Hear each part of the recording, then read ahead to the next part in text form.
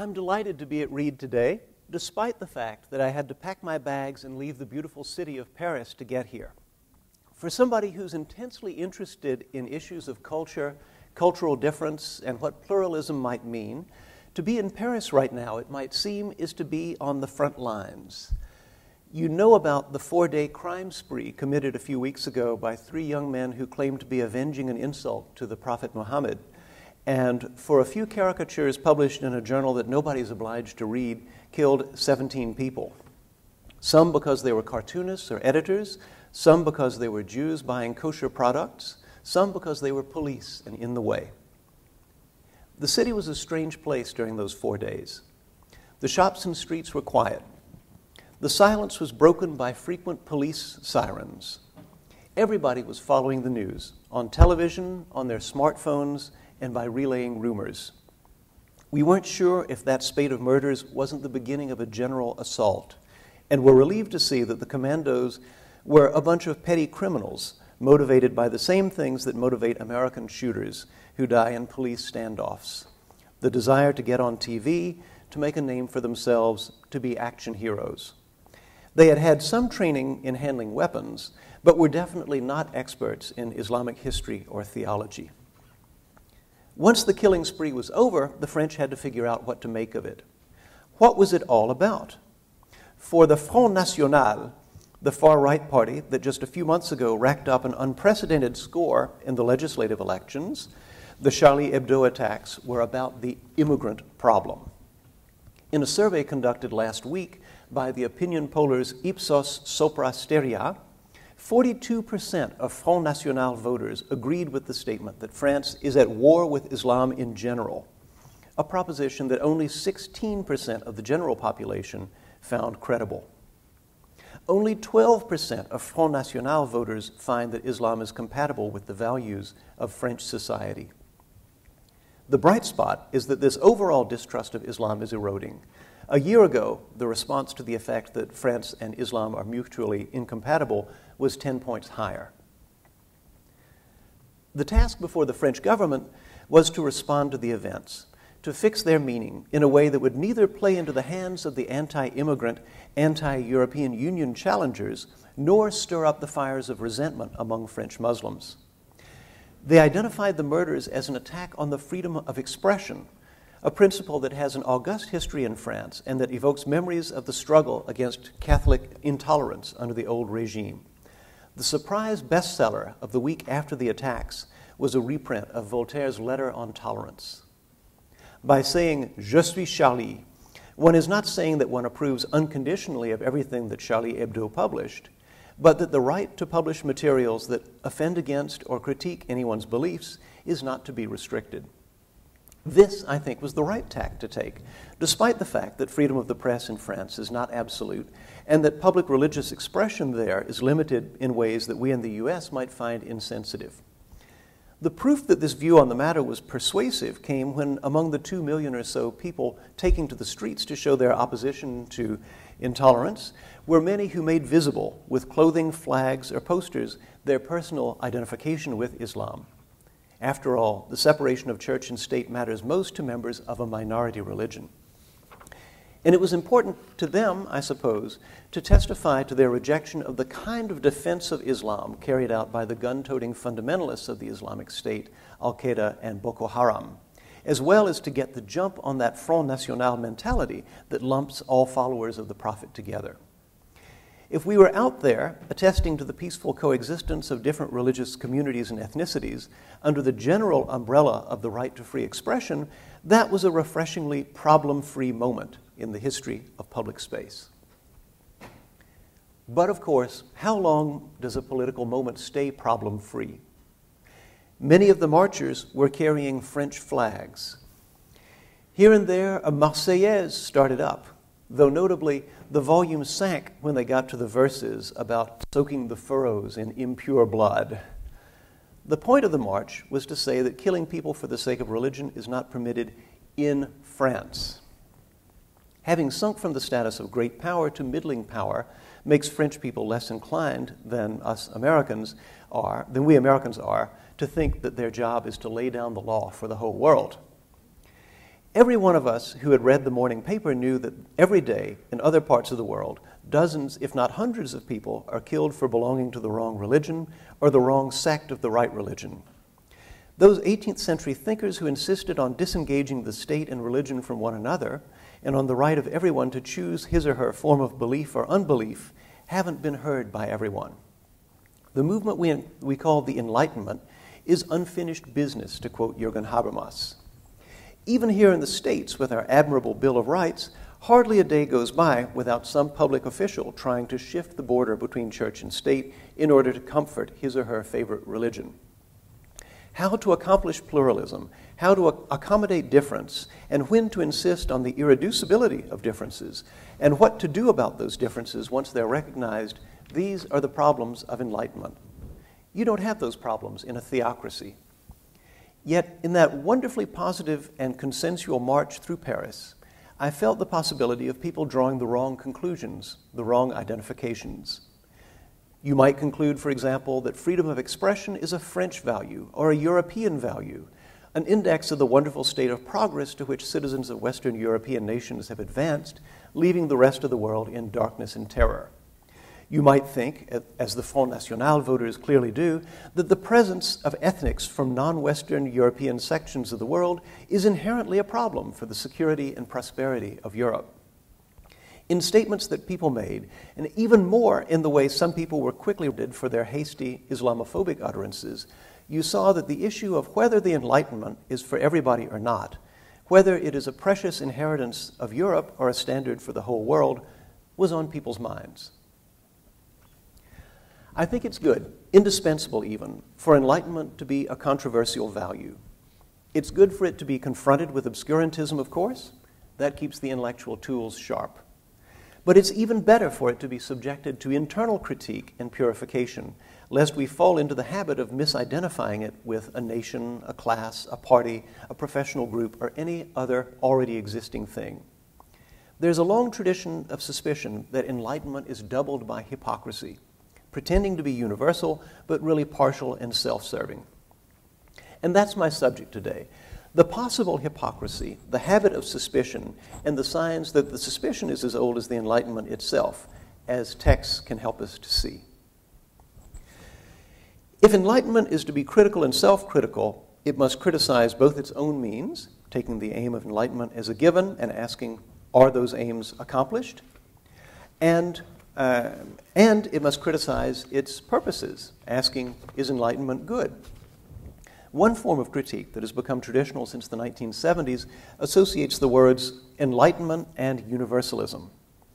In the age of multiculturalism and small is beautiful thinking, universalism was thought to be a bad thing, not just an epistemological immodesty, but a trick for wielding power over people. I quote, the grand narrative has lost its credibility, whether it's story of speculation or of emancipation, said Jean Francois Lyotard in his report on knowledge, The Postmodern Condition, published in 1979. To see Lyotard's suggestion in practice, listen to the view of Gao Xiang, director of the Chinese Academy of Social Sciences, giving a rather official version of the problem of enlightenment at a conference on the 18th century I attended last year. Here is an extract from his talk. I quote Freedom, democracy, human rights, and other abstract principles advanced by the Enlightenment movement must be keyed to the special circumstances of each individual country. The modern transformation process in the non Western world, by blending Enlightenment with local cultural resources, has ceaselessly enriched the content of modernity. To try to force the progress of human civilization into one type of civilization, one type of modernity, is a form of cultural hegemony that we must oppose. Would you like it in Chinese? Huh? Why not? 启蒙运动提倡的自由、民主、人权等抽象原则，必须结合每个国家的特殊国情， 非西方世界结合本土文化资源所进行的现代转型，又在不断丰富着现代性的内涵。试图用一种文化、一种现代性来规制人人类文明的演进，是一种我们必须加以反对的文化霸权。You now have to, to applaud, right? No, sorry, no, no, I'm just joking. I mean, the style, the style is, is very um, dangbagu, you know, it's very, uh, very uh, standard official style. Now, this sounds like special pleading for Chinese behavior regarding freedom, democracy, and human rights, a claim that there aren't actually any abstract principles, but only local cultural resources, and that uniformity of standards in such matters would be tyranny, or hegemony, the Chinese official code term for U.S. meddling in other people's affairs. One set of, of Enlightenment values, those proclaiming universal rights, here collides with another set, those proclaiming tolerance of difference. Of course, this is too schematic, but you see how a bit of deft navigation will be required to keep the collision from doing too much harm. One will have to show that the universal rights are framed in such a way as not to destroy any essential part of the differences be tolerated, but where passionately held interests and opinions are at stake, this is unlikely to be smooth sailing. Here's another critique of Enlightenment. Already during their American exile, Max Horkheimer and Theodor Adorno were identifying Enlightenment's later progeny with instrumental reason and denouncing the crimes committed in its name. They say, uh, you can see the quote up here, right? Uh, human beings purchase the increase in their power with estrangement from that over which it is exerted. Enlightenment stands in the same relationship to things as the dictator to human beings, right? And this is a rather scandalous thing to be writing in the middle of the Second World War when I think most people would have thought that the dictators were the anti Enlightenment people, and the folks who were fighting against the dictators were, were uh, where the possibility of enlightenment was. But uh, a counterintuitive thesis is always more interesting uh, in and of itself.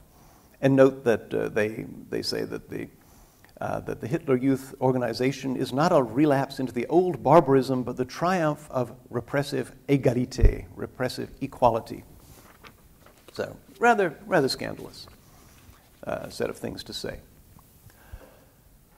The popularity of Horkheimer and Adorno's dialectics of enlightenment in China, uh, as, as in many other places, uh, tracks an intellectual climate in which the paramount issue for many is to resist universalism and champion local exceptionalism.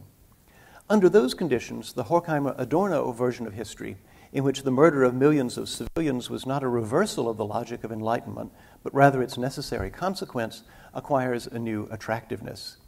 In such cases, the critique of enlightenment is directed at, it, at its aims and not its mere means.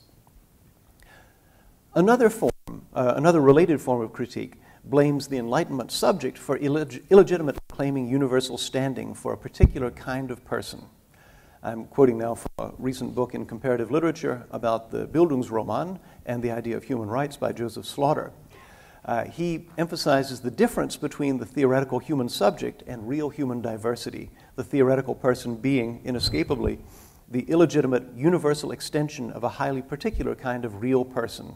So I quote now Joyce Slaughter The idealist Bildungsroman and international human rights law begin by imagining the normative, rights holding citizen subject, an abstract, universal human personality that presumes particular forms of embodiment and excludes or marginalizes others, and that has been historically defined as always already white, propertied, and male.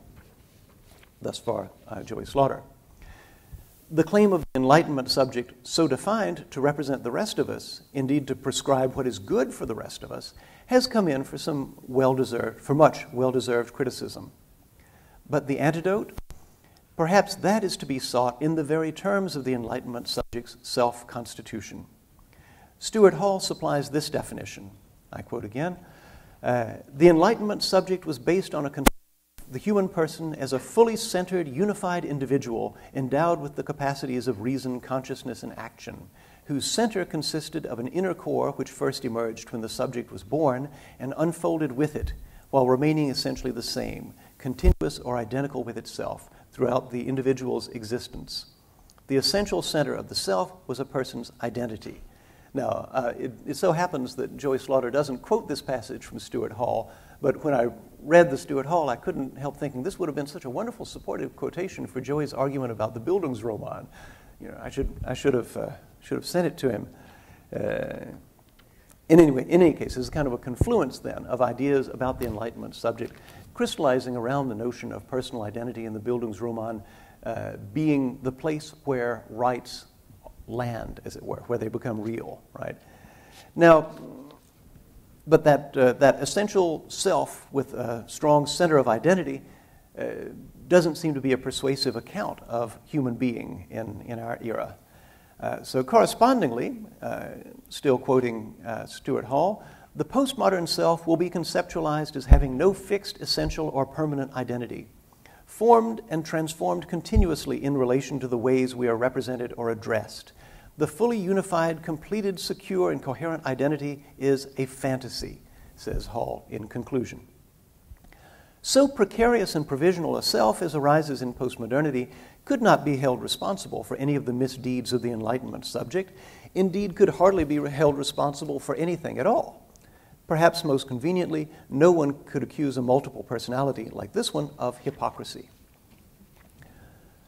When the Enlightenment is identified with the West, the potential for detecting sneaky dealing is great. Gyan Prakash finds in the proceedings of early learned societies bringing together British and Indian scholars, I quote, a troubled acknowledgement of the deep seated incompatibility between modern science's image as free inquiry and its operation as an instrument of colonial domination. On the one hand, science was projected as a universal sign of modernity and progress unaffected by its historical and cultural locations. On the other hand, science could establish its universality only in its particular history as imperial knowledge. End of quotation. So he's got on the one hand, on the other hand. And as usually happens, there's an asymmetry between the two hands. Science was projected, he says. In other words, it took on certain meanings as an image, but as imperial knowledge, science has, in fact, operation, locations, and particular history, just scrutinizing the language of Prakash's description here. The universality of science is for Prakash the stuff of fantasy or delusion, but its role in mastering a colony is realized in concrete space and time and thus not subject to doubt. The mismatch between fantasy and reality, a favorite rhetorical device of the early Karl Marx, duly receives its Marxian name. I quote again from Gyan Prakash insofar as the narrative of progress was compelled to identify knowledge and power in seeking to master the colonized, alienation was a general condition of its articulation. So, uh, there we are with alienation. The language of alienation plays on two registers that of truth, something real is hidden behind something unreal, and that of power. Unfreedom is presented as necessary, freedom as impossible. There's an analogy with Hall's two kinds of subject. Hall tells us that the Enlightenment subject, the Enlightenment self, puts forth a fantasy of itself as being one thing, but is in reality something far less consistent and centered. The point of using the word fantasy is to say that it is a deception, a self deception in the first place, and a deception of others thereafter. Similarly, with Prakash's review of colonial science, the natives, uh, as he uh, quotes early uh, British text from India as, uh, saying, are invited to admire the scientific achievements of the colonizers, to submit to their authority, but not to participate in science as free and equal investigators. Therein lies the hypocrisy of the projection of science as free inquiry under unfree conditions. But what if the terms fantasy and projection were to be replaced with some less suspicious word such as template, ideal, goal, or desire? In that case, the Enlightenment subject would not be saying, Here is what I am, and I shall hold you to the same standard, though you will never reach it, but rather, Here is what I am not yet, but hope to be at the end of the process of enlightenment, which is open for you too. Though both pronouncements could be called universalistic, the first alternative would be dogmatic and uncritical, the second, critical and utopian. And as I have suggested, an uncritical enlightenment would be futile. It may seem over subtle to take so seriously the anti part of a polemic, but it seems to me that the critiques of the Enlightenment subject that blame it for claiming to be an already fully realized ideal miss this element of potentiality, of empty categories waiting to be populated, and commit a kind of essentialism in their characterization of the theories of the subject postmodern people reject. The Enlightenment subject is centered, property holding, male, white, do you mean by that is and must be, is and can only be, was that way and that's history? Or do you mean was so but might have been otherwise? Under the first reading, the Enlightenment subject co- collapses under the weight of its excessive particularity, for nobody today can be that kind of self sufficient landed gentleman. Under the second, the place remains open. We'd be wrong, however, to think that the gaps in conceptual coverage that seem so obvious to us were invisible to observers contemporary with the Enlightenment. The native speakers, so to speak, of Enlightenment have much to show us on this score. Olympe de Gouges followed the National Assembly's Declaration of the Rights of Man and of the Citizen of 1789 with her Declaration of the Rights of Woman and of the Female Citizen in 1791. Although she insisted on the distinct natures and thus the distinct functions of men and women, and even counseled the creation of a separate National Assembly of Women, she had no doubt that woman occupied the position of a rights possessing subject.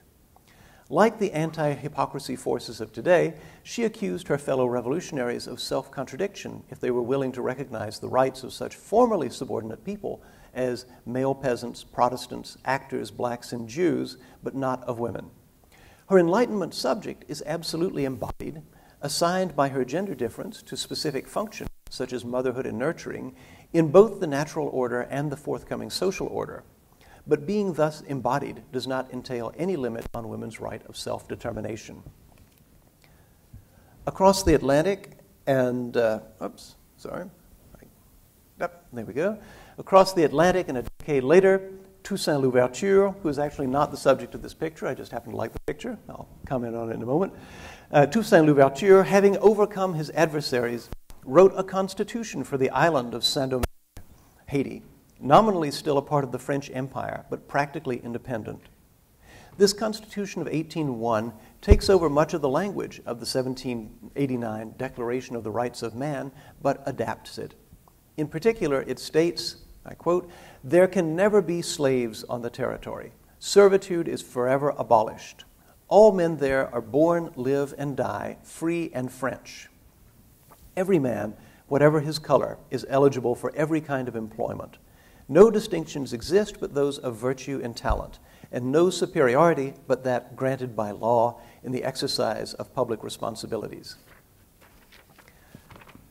Here, the logical universals, all man, every man, are introduced and framed by negatives. There can never be slavery. Servitude is forever abolished. No distinctions but, not superiority but. The result is to acknowledge the apparently universal as the result of certain negating events. The Speech Act abolishing slavery and the many feats of arms that gave that Speech Act its force, as well as the Speech Acts and combats that had abolished aristocratic distinctions in the mother country and had been inscribed in the 1789 Declaration. Toussaint's Constitution is more historically aware than the Declaration, which had merely set forth the natural, inalienable, and sacred rights of man. The French National Assembly in 1789 had perhaps calculated that putting human rights outside of history was the best way to make them invulnerable. For Toussaint and his fellow Haitians, that would have been an impossible act of forgetting. Thus, the Enlightenment subject of the first Haitian constitution is someone who has won rights, who has them as a consequence of an event in recent historical time, but whose possession of them is no less complete than is the case for the Frenchmen or North Americans who had laid claim to them a few years earlier. The man who was just then steering France away from the rule of equality, Napoleon, would disagree and add four more years of bloody war to the Haitian struggle in an effort to keep them enslaved. Toussaint's constitution, although it explicitly maintained Haiti in the French Empire, was in Napoleon's eyes nothing less than proof of treason. To see the place of the Enlightenment subject as an opening and uh, as an open and beckoning one was not without its dangers. Dangers confronted not by Toussaint alone, but by an appalling number of victims in Haiti's War of Liberation. Now, I'll comment on the picture a little bit. Uh, this is Jean Baptiste Belley, who is a, uh, a, member of the French Senate from the island of Santo Domingo. And he's, uh, he's dressed in very fine 1790s fashion, and leaning on the bust of Raynal, who is the man who wrote the history of slavery in the Americas. And Raynal's history of slavery includes this fam- famous paragraph where he says, there are only, you know, only a few thousand colonists, and there are hundreds of thousands of slaves who is going to be the man who will put the, the spark to the powder keg, who will rise up in revolt? And the legend has it that Toussaint, who knew how to read, stumbled on that very passage in his master's library when he was uh, a servant in a house in Santo Domingo and read that paragraph and said, Yeah, that paragraph is about me. And got off, hopped on his horse, changed history.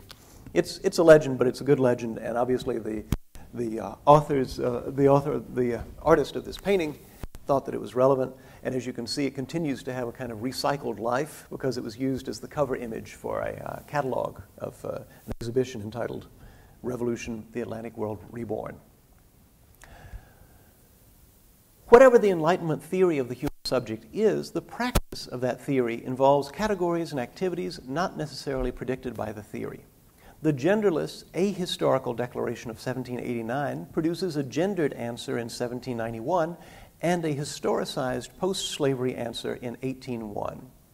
What is the relation between the declaration and these two responses?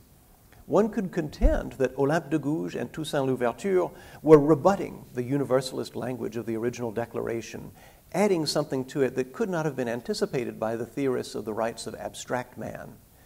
To make this contention, however, Im- implies accepting the theory that the holder of rights under the Declaration is intrinsically and necessarily the free, property holding, bourgeois male subject. But Toussaint and de Gouges acted as they did, invoked the language of rights and freedom in the way that, ways that they did, from a starting point that did not repose upon that identification. I speculate that if you asked them, they would say that their actions amounted to making real the claims of the earlier document. In other words, that the later dimensions, feminism and emancipation, were implicit, although occluded, in the earlier declaration. The earlier declaration is able to ignore so many things about itself because it precedes the work of building utopia, and the later documents are already engaged in that work. Or to put it somewhat differently, what the 1789 document proclaims as intrinsic qualities of the subject, man is free, turn out to be relations among that subject, other subjects, and material things. That is, if men and women are to make themselves free, they must avail themselves of X, Y, and Z and do P, Q, and R, and so on. In saying this, I may seem to walk into the crosshairs of Samuel Moyn's recent critique of what he calls the model of universal truncation and subaltern fulfillment of human rights language. Under this model, what de Gouges, Toussaint, and others like them were doing amounted to extending the application of a formal universal. The universal was only potentially universal in its orig- original formulation, and it was these marginal uh, or subaltern subjects who made it genuinely universal. As Moyn describes this model, which he finds in the work of many historians of uh, Atlantic revolutions, uh, he says, uh, this model says that the, uh, it is the metropolitan elites who announce universal principles, even if they keep them to themselves, and it is the colonial subalterns who become the fulfillers.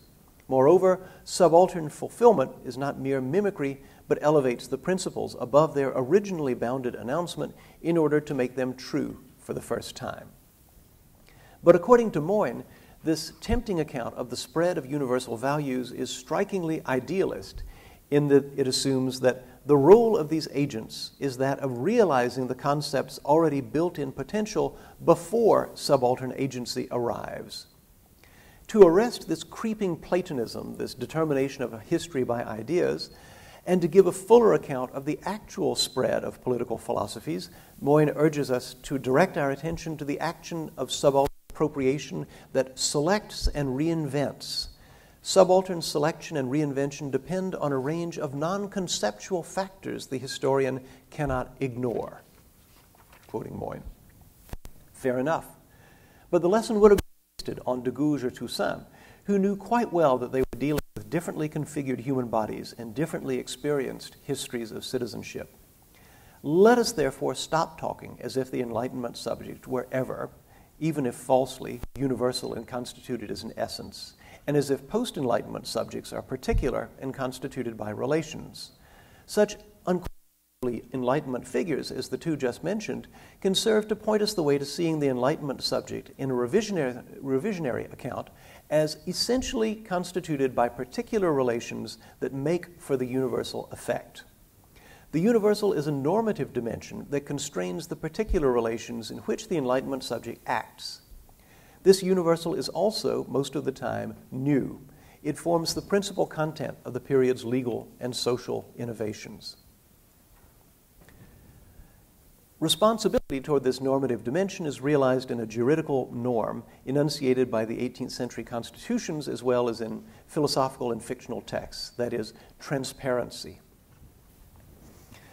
Now, the 1789 Declaration of Rights of Man and the Citizen, like any document hammered out by a committee, reflects many possibly inconsistent points of view. Exactly how the natural rights of man and the national wellspring of sovereignty are to be squared remains a problem. Uh, but they, uh, but the, uh, the, uh, the Declaration of the Rights of Man says that sovereignty resides essentially in the nation. No one can exercise authority that does not explicitly, expressément, proceed from the nation. And the word expressément uh, is a kind of a self referential mo- moment of language, right? Because explicitly, you, you make explicit something in language. This uh, with this word expressément, explicitly, the mysterious sources of rights and power are pushed into the background, and the exercise of power is made subject to a linguistic demand that can be voiced by any challenger. If you are claiming authority to do something, you express the relation to the national will that justifies your claim. Article 1 says, uh, of the, the Declaration says, social distinctions can be based only on public utility the limits on any man's ex- exercise of natural rights can be determined only by law. Right? These are two more versions of the demand for public acts of justification. Uh, taxation must be equitably imposed and evaluated and consented to publicly. Right? Taxation was, as with the American revolutionaries, a big issue. Uh, Toussaint's Constitution of 1801 is even more detailed in this demand of transparency. It says, notably, no one can be arrested but by virtue of a formally stated order issued by an officer to whom the law gives the right of making arrests and detaining prisoners in a publicly designated place. Right? So, in that one sentence, you have four or five appeals to publicness and to uh, documentation. Uh, every person's house is an inviolable refuge. Anyone who, in the absence of legal power to arrest, orders, signs, performs, or has others perform the arrest of any person will be guilty of the crime of arbitrary detention, says Toussaint's Constitution. Right? So before arresting anyone, the officer must make known to the detainee the grounds of his own authority and the reasons for the detention and leave behind a written copy of those reasons. Okay? So more gestures demanding transparency and reasons for action. Now, transparency in these cases involves a demand to show, to make public, the legal basis of any act that limits the freedom of individuals. It is not a metaphysical issue, but a practical one. When an individual is wrongly arrested or taxation is carried out arbitrarily, such an illegitimate exercise of public power is shown to be criminal by the inability of the perpetrator to render a satisfying public account of the sources of the authority he claims. The obligation of transparency on the part of public officials implies respect for the equality of all citizens.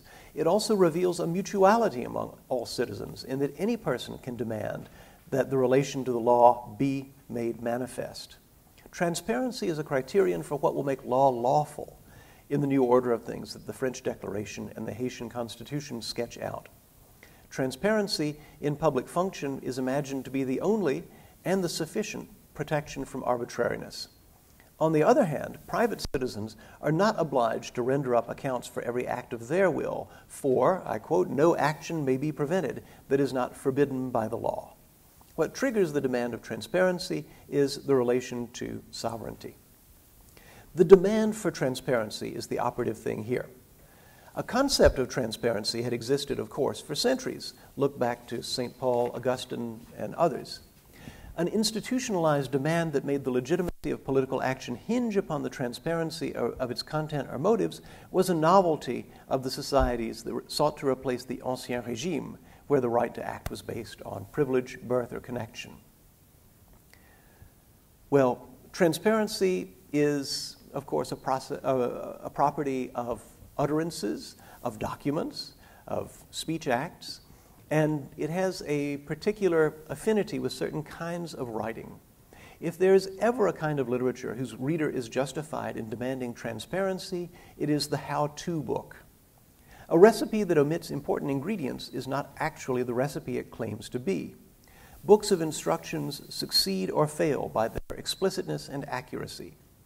Two of the characteristic genres of 18th century writing, the epistolary novel and the political constitution, derive from the how to book, but take separate paths. In fact, uh, I tend to think that the epistolary novel is something like the problematic shadow of the Constitution as a genre. The latter fetishizes transparency, the former makes a problem of it. Now, here's the connection to how to books. The printer Samuel Richardson began writing long prose in order to cash in on the demand for books of model letters, instruction manuals for social performance. A typical book in this genre showed readers, through examples, how to compose a letter of recommendation, a job application, a letter of condolence, and the like. Richardson swerved from being a provider of useful information into being a novelist when he began to frame letters that suggested more than they said. In other words, when the transparency of his model letters could no longer be assumed. His novels won sympathy for his heroines Pamela and Clarissa by making them first the narrators of their own stories in the presumably truthful form of letters to an intimate friend, and second, the victims of machinations carried out by a more powerful male character whose motives were never assumed to be as they seemed. In this illustration from the 1742 version of Pamela, you have Pamela who has written a letter to her friend, and the, this letter is being intercepted by Mr. B, who is sort of the the, uh, the, the man who is illegitimately pursuing her and about whom she complains in her letters. Right? So here's a, a moment of involuntary disclosure. Richardson's heroines, lower or middle class women pursued by wicked upper class men, dramatized the how to book's strivings to earn a degree of nobility through its promotion into narrative romance. Presented to a public of relatively plebeian readers, the self revealing letter writer entered fiction with an automatic credit of virtue. The competition of transparency and non transparency created rhetorical suspense, a trick exploited by further authors in the epistolary genre. In this genre, inequalities of privilege are reinscribed as inequalities of access to information. Valmont and Merteuil, in Les Liaisons Dangereuses, invent a series of intrigues where it is clear that they get more pleasure from ruining their victims' reputations than from contact with their bare flesh, and Laclos' choice of the epistolary device allowing us to eavesdrop on the plotters scheming while their victims are all unaware, deepens our sense of their wickedness. Moments in these novels when the assumption of transparency is confounded by allegory or dissimulation point to a critique of manipulation. When the plotters succeed in carrying out their plans, the result is a violation of mutuality through pretense and secrecy. Had the exercise of power infallibly been conditioned on transparency, none of these plots would have run their course. Thus, transparency is put into the position of precondition for mutuality and equality, the state toward which Richardson's novels steer. Um, in short, from the self revealing characters to the schemers and the hypocrites, 18th century fiction explores epistemological and moral questions, as well as its own representational techniques, by raising the topic of non transparency as a flaw in an assumed normative basis of open and transparent communication. The Haitian constitution designed by Toussaint here reveals its other side. For in addition to containing a set of prescriptive statements about the legitimacy of actions to be undertaken in the name of the law, statements having a general and, and, predictive force, it contains a description of the role of its one true narrator and a kind of epistolary fiction addressed to the future inhabitants of Haiti. Although slavery is repealed and no distinction of status will be allowed except those gained through virtues and talents, the Constitution specifically ordains an unequaled, nearly royal degree of authority to its governor, Citizen Toussaint Louverture, General in Chief, for the rest of his glorious life. The governor seals and promulgates the laws. He names all civil and military officials. He submits legislation, as well as future constitutional amendments, to the Assembly for approval. He sees to the application of the laws, etc the, calculation, the calculus of the separation of powers does not in the least apply. Supposing in the future the citizens call on their greatest protection, their constitutional right to demand a basis for authority anytime someone compels them against Toussaint's special privileges, they will receive no response but repeated citations of the text attributing to Toussaint almost unlimited powers.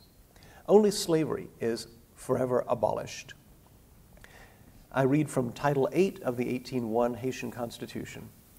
To confirm the tranquility that the colony owes to the decisiveness, the activity, the tireless zeal, and the rare virtues of General Toussaint Louverture, and as a sign of the unlimited confidence of the inhabitants of Santo Domingo in him, the Constitution exclusively attributes to this general the right of choosing the citizen who, in the sad event of his death, will instantly replace him. His choice will be secret, enclosed in a sealed packet that can be opened only by the Central Assembly in presence of all active service generals and the commanders in chief of the departmental militias. General Toussaint Louverture will take every necessary measure of precaution to inform the Central Assembly of the place where this important packet is deposited. At the core of the Constitution, then, notwithstanding all its gestures of legitimation in the terms of transparency and accountability, lies a sealed packet in a mysterious hiding place, addressed to the nation and containing its future.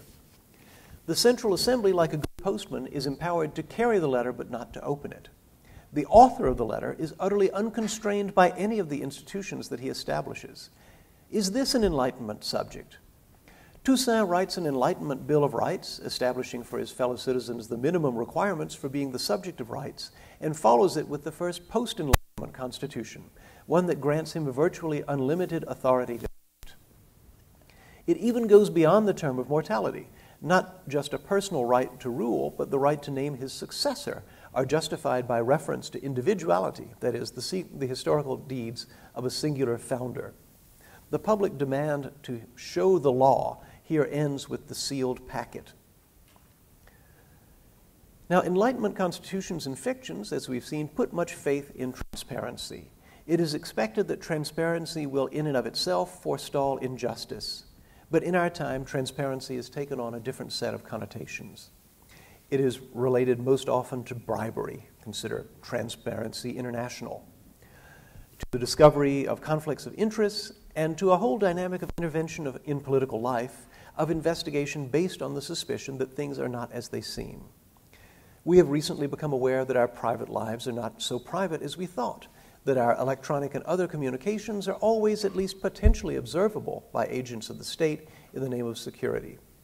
The panopticon, once a philosopher's fantasy, then a historian's accusation, has become as banal as email. But try to extract yourself from the line of sight, and you will only convince someone that you have something to hide. The demand for transparency draws its energy from the hypocrisy plot, from the belief that the overt and public side of diplomacy, legislation, or business is not self explanatory, but that it ought to be. It is therefore not entirely at home in the domain of the formally specified institutions of politics, but must always be mucking about in the shadow zone between public actions and private, undisclosed interests. And for this reason, it is a demand that often takes extra legal form outing of the private lives of citizens who, for some reason, have irked a powerful person or a numerous mob, smear campaigns, conspiracy theories, and other artifacts of a highly mediated life. Immanuel Kant is famous for insisting that one should never, on any pretext, tell a lie, even when being interrogated by a murderer intent on killing one's close friend. His readers note with dismay that this example ranks transparency higher than the pres- preservation of life. Kant also condemns practices such as appending secret clauses to treaties or tacitly reserving the grounds for future war. Both state and individual seem to be tr- summoned to transparency in the following passage from Perpetual Peace. If, in consideration public right as the jurists usually conceive of it, I abstract from, from it uh, all its material aspects, I am left with the formal attribute of publicness. For every claim upon right potentially possesses this attribute, and without it there can be no justice, which can be conceived of only as publicly knowable, and therefore no right, since right can only come from public justice. Every claim upon right must have this public quality. Thus far, Publicness, Öffentlichkeit, is here nearly synonymous with justice, which puts it very high indeed. But this insistence on transparency, come what may, strikes many as naive. Committed modern day Kantians have attempted to work around the prohibition against lying. Christine Korsgaard proposes considering lying under the heading of something analogous to Kant's laws of war, special principles to use when dealing with evil, and therefore not coming under a universal requirement. She also proposes taking inspiration from Rawls and reformulating moral duty as a double level theory, with one level being applicable under ideal conditions and the other under non ideal conditions. But to have one rule for dealing with the good and another for dealing with the bad raises the question of how the distinction is to be made and whether the grounds of distinguishing are available for public inspection. I, I fear that Kant would have responded to the idea that all's fair, even lying, in love and war, with a reiteration of his transparency demand. As he puts it, all actions affecting the rights of other human beings are wrong if their maxim is not compatible with their being made public. In other words, I could lie to the inquisitive murderer only if I made public my grounds for considering him undeserving of the right to hear the truth from me. This hardly simplifies things. Indeed, one effect of the double bind of transparency is to make rebellions impossible. Uh, Kant says the injustice of rebellion is thus apparent from the fact that if the maxim upon which it would act were publicly acknowledged, it would defeat its own purpose, says Kant, apparently relieved to have put that danger at a distance. Transparency of motive is no guarantee of fair dealing, however, for there remains the case of the outright bully. I quote Kant again we cannot simply conclude by a reverse process that all maxims which can be made public are therefore just, because the person who has decisive supremacy has no need to conceal his maxims. But it seems unlikely that anyone would have the decisive supremacy in such measure as to permit complete transparency about unjust intentions. To revert to Toussaint's constitution, the fact that the founding governor refuses to name his successor right here and now, but will do it only in a post mortem message, indicates that tranquility is not yet a sure thing, because presumably the named successor would rise up against the founder or himself be attacked by rivals for the position. The need to conceal is an underhand acknowledgement of the authority of legal publicness.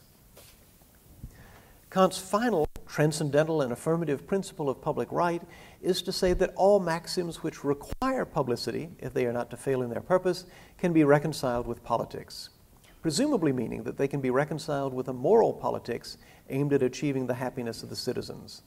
What then could be more moral than publishing? How to books, the most moral kind of book, make explicit the steps that need to be taken in order to get from a state of lack to a state of having. The various bills of rights require the making of public of authority, and the novels of hidden intrigue perform, in the double perspective of dramatic irony, the making public of motives to the reader. All then aim at a satisfaction of the need for transparency. Quoting Kant again, for if they can only attain their end by being publicized, they must conform to the universal aim of the public, which is happiness, and it is the particular aim of politics to remain in harmony, harmony with the aim of the public through making it satisfied with its condition. But the further elaboration and discussion of the form of universal lawlessness must wait, he says, for another occasion. Right, this is a frequent gesture in Kant. He says, This is a very interesting question. I'll deal with it later. And then you're left wondering he's going to deal with it. Well, the drafts published much later. Ah, sorry, you didn't know that Immanuel Kant invented the t shirt, did you? Here you are. Uh, the drafts published much later as Kant's opus postumum, and here's a page from the manuscript, uh, the editors are, are greatly to be admired and pitied, uh, gives some idea of how he would have done this further elaboration and discussion. Here we have only fragments, repetitive and often grammatically incomplete, so any idea of the system they would have pointed to must be conjectural. Kant is concerned to locate moral authority properly, not in the use of force, but in the consent of the subject to an imperative that he recognizes is coming from reason disguised as the voice of God. I quote The categorical imperative represents all human duties as divine commands, not historically, as if God had ever issued certain orders to man, but as reason presents them through the supreme power of the categorical imperative, in the same manner as a divine person can rigorously command submission to himself. So, reason's demands issue in the same manner as those of a divine person, which is not to say that any divine person ever actually, substantively, or historically appears to utter them. So there's, there's a doubleness here, an element of masquerade, right? We're going to behave as if some divine person had ordered this, but in fact, we, we don't have to assume that that is true. Uh, as for this divine person, Kant explains a little bit further in the Opus Postumum. The commanding being is not outside man as a, diff- as a substance different from man. It is rather the counterpart to the world represented as the complex of sensible beings. Both together in, both together in one system, however, and related to each other through one principle, are not substances outside my thought, but rather they are the thought through which we ourselves make these objects through synthetic a priori cognitions from concepts, and subjectively are self creators of the object's thought. God, the world, both outside me, and the rational subject, which connects both through freedom, not substance. Okay, this is you know, extraordinarily condensed, and he's, he's basically giving you the whole argument of the critique of pure reason in one sentence. So if it didn't make sense, there's a reason for that. But I'm giving you a sense of how, at the end of his of his life, Kant is trying desperately to roll it all into one package so that you get the, you know, the three critiques all somehow uh, coinciding and fitting together like pieces of a puzzle. Uh, as do the analytic of the sublime or the idea of a teleology of nature, the command serves as a means of discovery of freedom in the subject, going beyond the bounds set to every natural or theoretical conception. The explanation of the idea of God takes for Kant quasi constitutional form. God has the unusual legal status of a being who is all obligating but is not obligated in any relation. The starting point of this reasoning seems to be the status of the human in society uh, as having some rights and some duties. Reasoning by analogy and antithesis, I quote again from Opus Postumum God is a being who contains in his concept only rights and no duties. World is the opposite. Person is a being who has rights and is conscious of them. If he has rights and no duties, then he is God. To have duties and no rights is the characteristic of the criminal, categorical imperative of the highest being. Again, some very condensed language there that I'll try to unpack. The criminal is a kind of human who began with rights and obligations, lost his rights, and was left with nothing but obligations a position like that of world, that is, mechanical nature, absent the idea of freedom. Neither God nor the criminal is a genuine enlightenment subject, but both are related to one. Is that the right page? Hang on yeah. Uh, contrary to the usual denunciations, the Enlightenment subject is a constituted one its subjecthood results from relations to others. We have here one of the most glaring examples. Seeking to synthesize morality, cosmology, and the categories of a priori reason in a single figure, Kant seized on the model of a constitution, that characteristic Enlightenment era document that spells out transparently, if not always mutually and equitably, the relations of right and obligation that will hold among citizens. It appears as if Kant was trying to draft the constitution of the universe a project that would make sense only in an era that believed in such founding declarations. The drafts of Opus Postumum include many paragraphs beginning Transcendental philosophy is the signs of an attempted final summation. One of these proposes that, I quote, God and the world are the two objects of transcendental philosophy. Thinking man is the subject, predicate, and copula, the subject who combines them in one proposition. Both the Constitution and the sentence need publicity. They need to be uttered, to be performed, to accomplish their ends. If it was an act of extraordinary immodesty to write the Constitution of the universe, perhaps that could be justified as an effort to show communication itself as the necessary form of universal lawfulness, an ultimate carrying out of the duty of transparency on behalf of that mediator whom Kant calls the subject. So it appears from this review of a select body of texts that the values often presented as universal, indeed, as the very expression of enlightened universalism at its most unrestrained, do something other than or in addition to propounding universal maxims. They articulate relationships.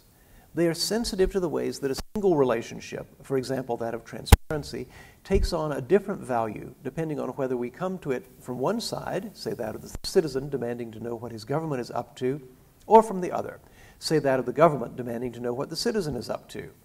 To take account of this, our understanding of the Enlightenment must become more searching and suspicious, as well as broader and less dogmatic. The subtler, more specific sense of the universal as one aspect of a relationship will not typically be given in the declarations and proclamations which Enlightenment political theory is so well known. We have to seek them out in less notorious, less showy places, such as epistolary novels, or in the political philosophies designed by members of groups conscious of their disadvantaged status, or in such works of, of science fiction as Kant's allocation of rights and duties among the ultimate constituents of the universe. The reward for doing so is an enlightenment that is less blind than we moderns and postmoderns may like to think, a challenge to our condescension and a worthy debating partner. Thank you very much.